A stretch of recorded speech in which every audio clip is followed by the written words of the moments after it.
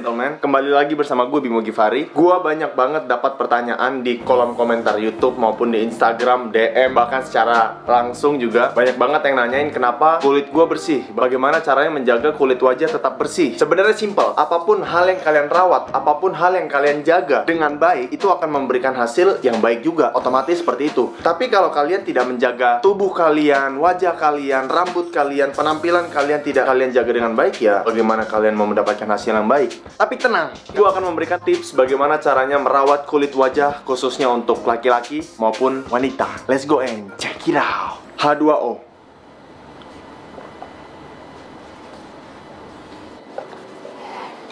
Minum air yang cukup 2 liter sehari itu udah cukup banget udah cukup banget untuk kebersihan tubuh kalian untuk menjaga kesehatan kulit kita. Karena diibaratkan seperti tanaman diri kita adalah jika tanaman yang disirami terus terus menerus dengan uh, takaran yang cukup ya jangan berlebihan maupun jangan sampai kekurangan. Tapi jika dengan takaran yang sehat tanaman itu akan tumbuh dengan cantik jadinya akan jadi indah. Begitu juga dengan kita. Ketika kita menjaga kadar dehidrasi dalam tubuh kita sebanyak 2 liter sehari itu akan membuat tubuh kita lebih moisturize, lebih apa namanya, lebih lembab, lebih lembut, lebih soft. Begitu juga dengan kulit. So, jadi kalian harus minum 2 liter dalam sehari. Ini bukan iklan, tapi ini emang untuk khusus kesehatan kalian. Kalau memang kalian mau peduli dengan kesehatan wajah. Kita lanjut ke tips yang ke Mulai untuk hidup sehat, mulai dari cara beristirahat, pola tidur, pola bangun, pola makan, pola berpikir. Mulailah hidup sehat, mulai untuk cari makanan yang sehat, makanan yang direbus-rebus mungkin, kurangi makanan-makanan gorengan, kurangi makanan-makanan sampah.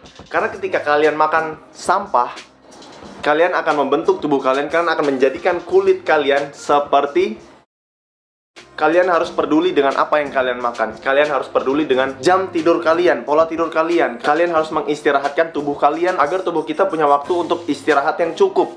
Karena setiap harinya tubuh kita akan memperbarui sel-sel di dalam tubuh kita. Dan itu akan terjadi jika kita memberikan waktu yang cukup untuk beristirahat kepada tubuh kita sendiri. Dari jangan pikir kita harus terus positif. Jangan berpikir aneh-aneh, jangan yang stres, jangan berpikir berlebihan dan akhirnya itu akan memperburuk semua yang kalian jalani. Pola istirahat berantakan, pola makan berantakan. Semuanya berantakan lah. Akhirnya apa?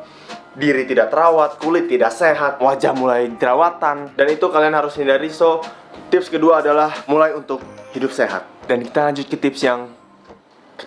Tips ketiga dari gue secara personal adalah cuci wajah kita minimal dua kali sehari ketika kita bangun dan ketika kita malam mau tidur. Ada dua alasan kenapa gue menyarankan untuk cuci muka dua kali sehari. Yang pertama adalah membersihkan wajah ketika kita keluar dari rumah. Ya asap debu, ya asap knalpot orang, ya kena matahari, apa pun itu.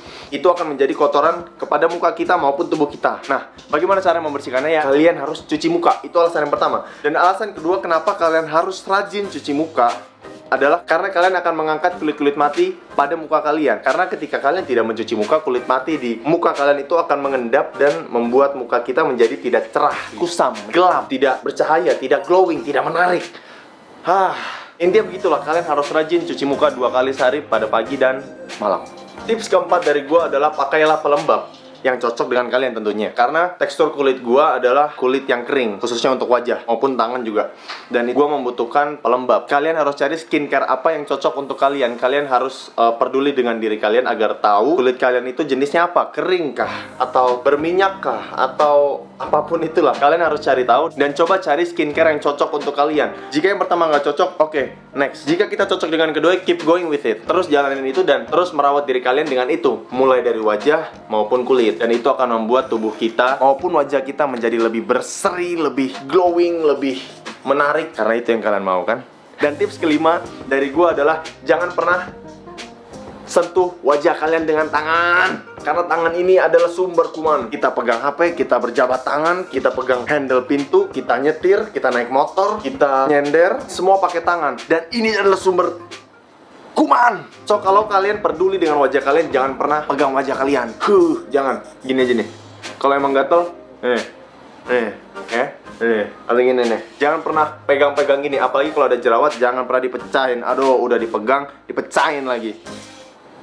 So kita lanjut langsung ke tips yang keenam. Mulailah untuk berkeringat karena pori-pori di dalam tubuh kita ketika kita tidak mengeluarkan keringat melalui pori-pori itu akan tersumbat dengan kotoran-kotoran yaitu tadi dari asap-asap mobil, dari sinar matahari, dari debu apa pun yang kita kena muka atau tubuh itu tuh harus dibersihkan oleh keringat yang kita keluarkan dengan cara berolahraga. Dan olahraga itu memang penting bukan untuk mengejar kesehatan kulit maupun wajah, tapi kesehatan adalah sebuah investasi, sebuah hal yang paling mahal di dunia ini. Bukan uang, bukan apa pun, tapi kesehatan. Kalau kita punya uang banyak, kita nggak bisa beli kesehatan. Tapi kalau kita sehat, kita bisa cari uang yang banyak. So, that's all and that's it.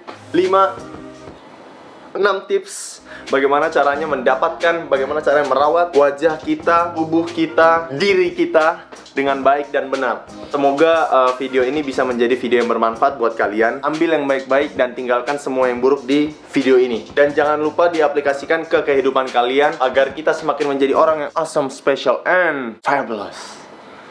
And you just have to believe it.